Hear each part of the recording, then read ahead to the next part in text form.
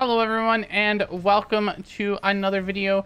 Here today we're actually going to be covering the ranked one player in KR currently of the recording of this video playing Bianca. We've got Ameer with us today. How are you doing today Ameer? I'm doing really good. I've uh, I've been watching a few people play Bianca recently because this character looks a, a lot stronger than I thought. But um, yeah, getting to see the current rank one player play the character, I'm sure they'll pull out some things that I have not seen before. Maybe teach me a few new things about this character. So uh, I'm excited. Yeah, I love Bianca as a character. Definitely, I'm not the best with her, but she is definitely that character when I'm not sure what I want to play and I just want to have some fun. I always love locking in this character. Something about her playstyle feels really unique and different compared to a lot of other mages that just makes it very, very satisfying to be able to play around her. Yeah, sometimes, you know, you just jump in and the fight is instantly won and you're just feeling like you hit literally everything, won your team of the fight, nothing to worry about. Uh, other times, you you might look at the fight and wonder why I even joined, but um, yeah, yeah, I'm sure that when you're this good at Bianca, every fight feels like I jumped in, used everything, and my team didn't even have to play the video game. I played it for them. For sure. I'm really excited to see how this plays out. Now, for anyone that doesn't know how Bianca works, let's just go over her lit. First off, we actually have her passive bloodletting, which is her, has two components. The first is hemostasis. So every few seconds, Bianca's next basic attack deals bonus damage. And the second half is blood bank. So under her her mana bar, you can actually see it. Bianca stores a percentage of her damage dealt and damage taken as blood and while out of combat, consumes the blood, healing her every second. Her main, her first main ability Q is Sanguine Javelin. So Bianca throws a spear of blood at a target location, dealing damage to the first enemy, or through enemy's hit. And then the javelin forms a pool of blood on a revival, arrival, dealing skill damage to the first enemy that touches it. Enemies with hemostasis, so the passive, are rooted for one second when hit by Sanguine Javelin. So it's really common to actually see uh, Bianca's through Q and auto attack to root people. The next one is her W, Sanctuary. So while inside the coffin, Bianca actually takes a percentage of reduced damage and heals. And if she has over 50% blood when using Sanctuary, she instantly consumes all of her stored blood, increasing her healing inside the coffin and reducing her skill cooldowns. Yeah, another thing with the uh, with the Sanctuary actually is that Oh, we're going to see it here. Uh, a bit of things is, if she's in the coffin already, she can be casting either her alt or her E, and it'll hide the animation from the rest of the lobby, as we saw her go into the coffin and use alt and use E together.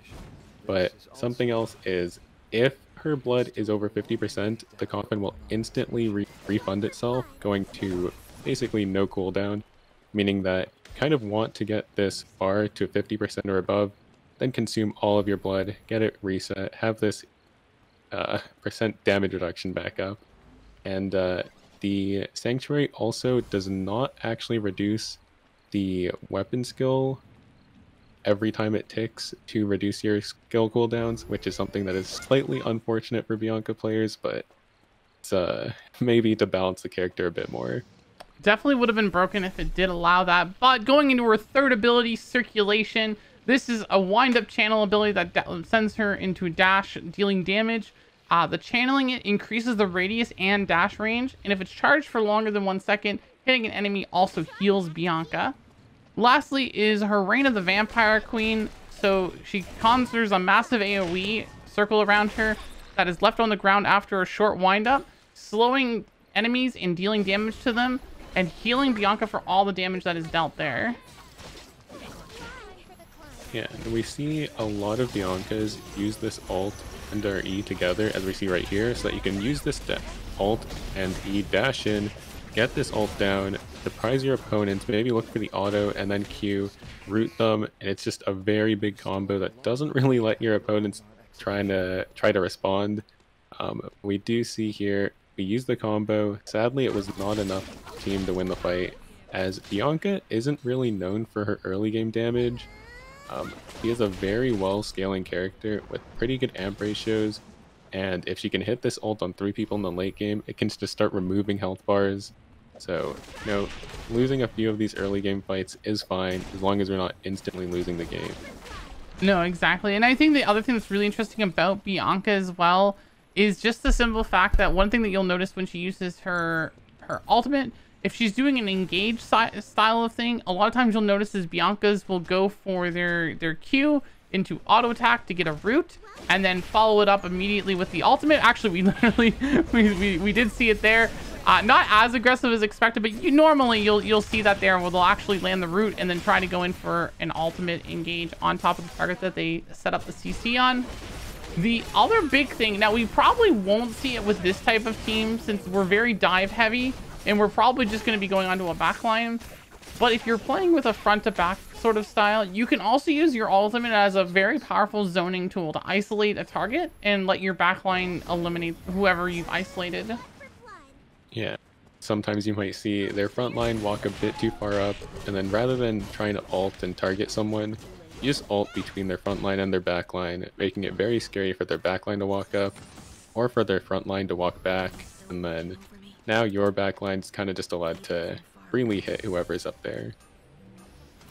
Exactly. Actually, honestly, that has to be probably my favorite playstyle with Bianca is sort of like the pseudo tank Bianca where you're part of the initiation and engage of the team and then letting your ADC ideally be able to kind of clean up the fight afterwards.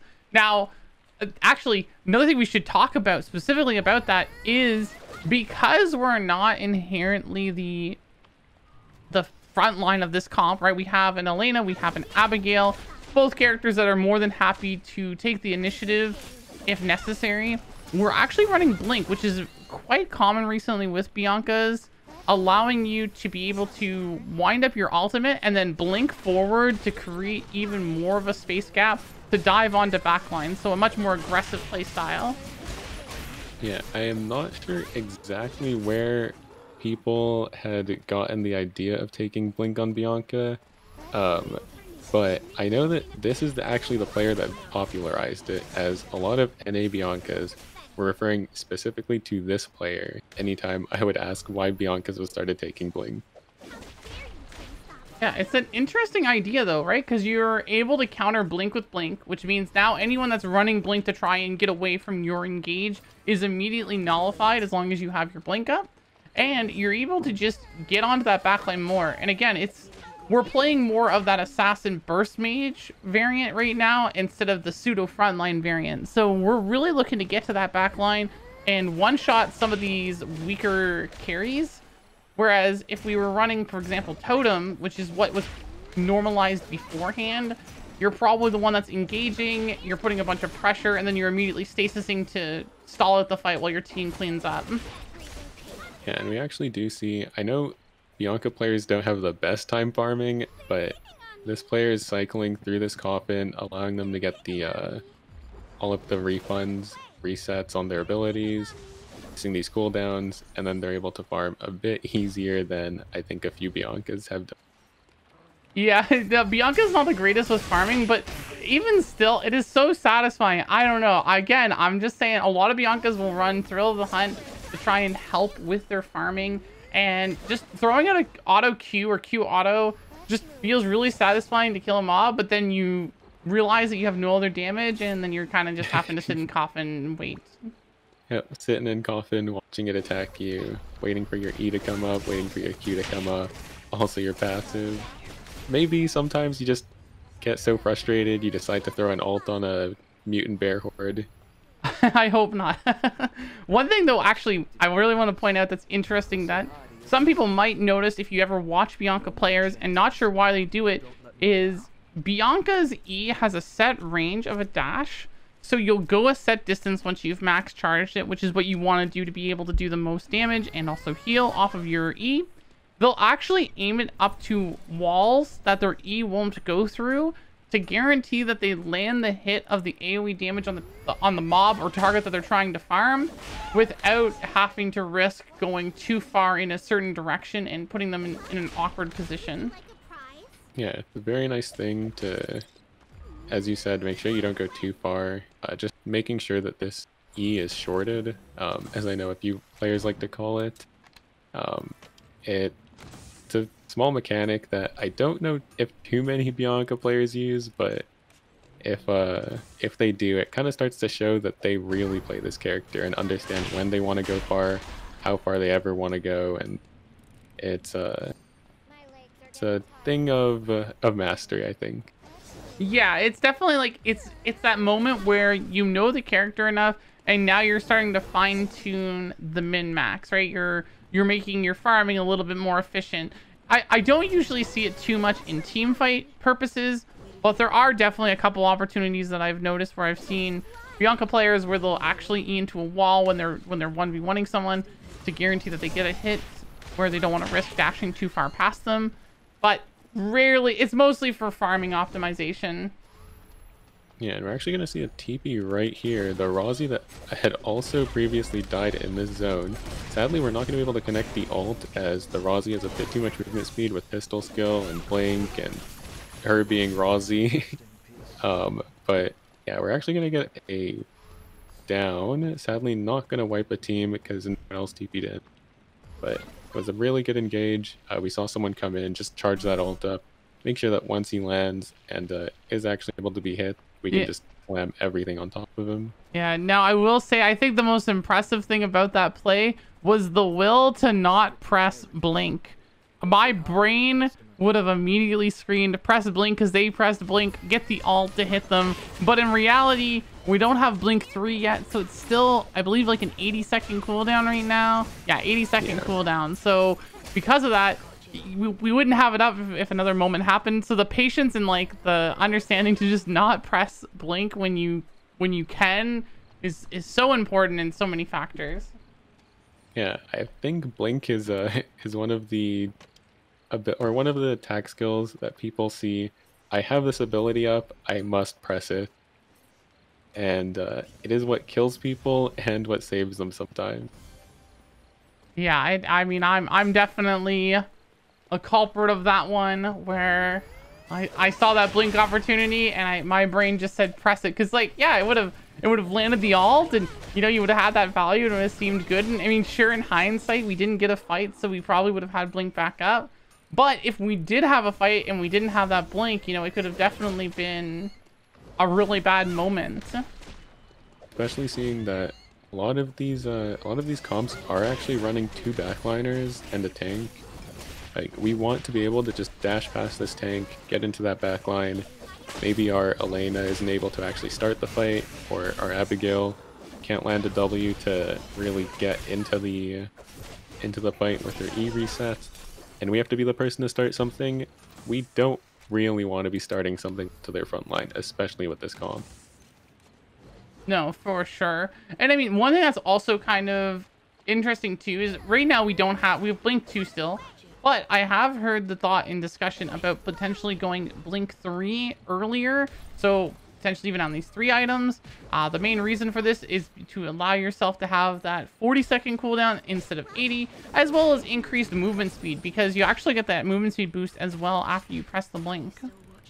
Yeah, and Bianca would abuse this movement speed very well as you just press R, you use the blink, you're running at them at Mach 10, they're not ready for it. Uh, maybe we can even take Strider on this character if we really feel like it.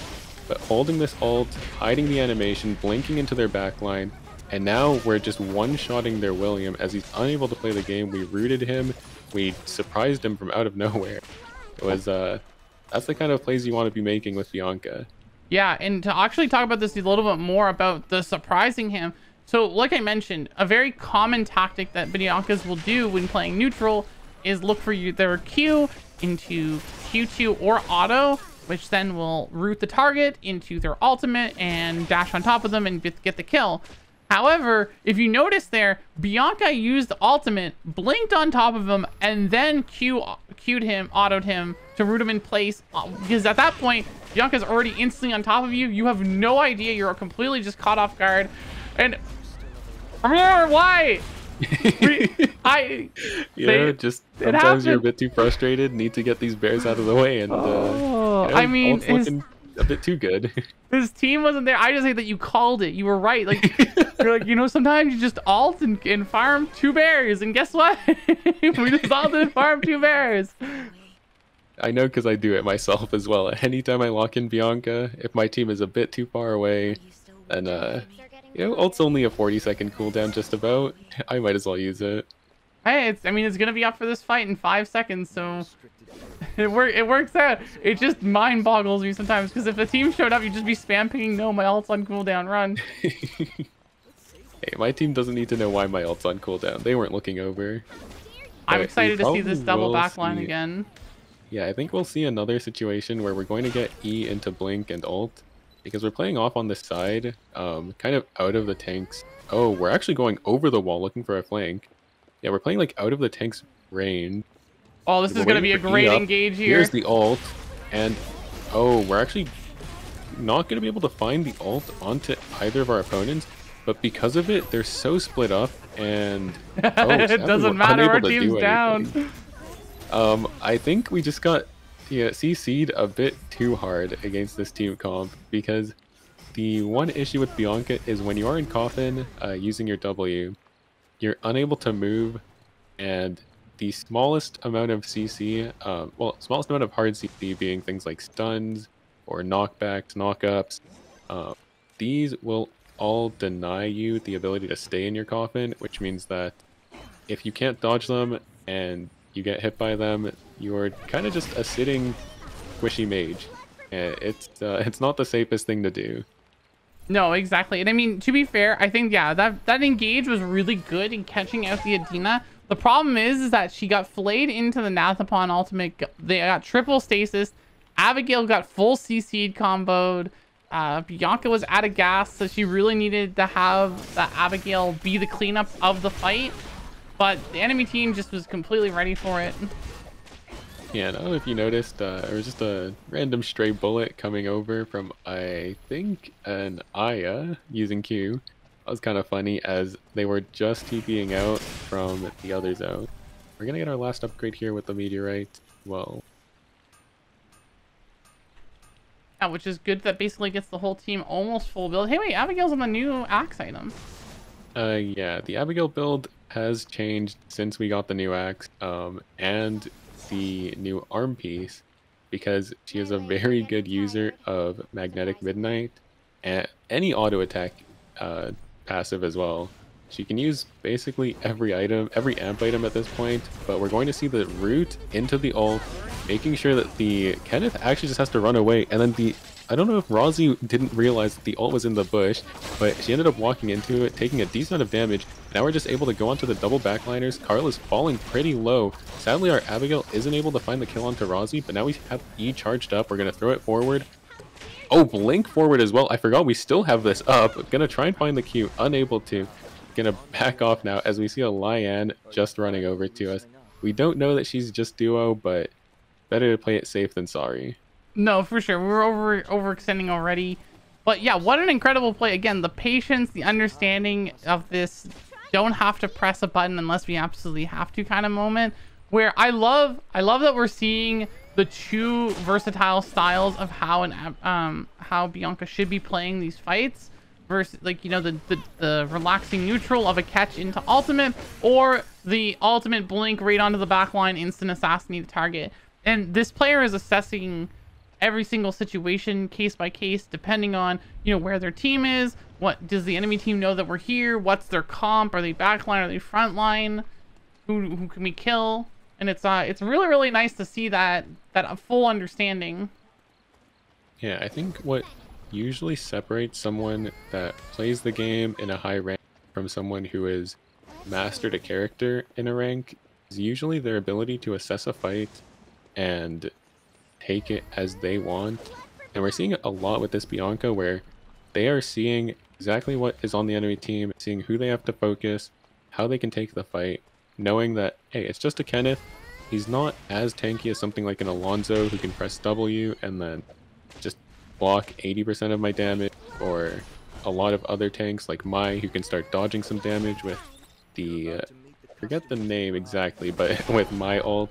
Exclusive, um, yep yeah, with the exclusive. Um, so we're just going to throw everything onto him, and the only thing he's really got is he can press W, get a bit of damage reduction, but realistically, we can just pop him, and then pop whoever comes after that. Well, exactly, yeah. And I mean, I'm I'm excited to see how these final plays end up going because it looks like it's gonna be a rematch against the team that beat them before. Yeah, I don't think that the Nathapon team is randomly going to die to uh, a bear or something. So we're gonna see a rematch back in Forest. I assume we're going to take it a bit slower, maybe find a different angle onto them, um, and really make sure that when we go in, we find this kill, as last time we weren't able to, and the Adina could ju just start throwing moons across from over the wall, stunning us, getting us out of coffin, and it became a very hard time to fight. Yeah, I don't inherently think that the Bianca's play was the wrong play the last time that we watched it.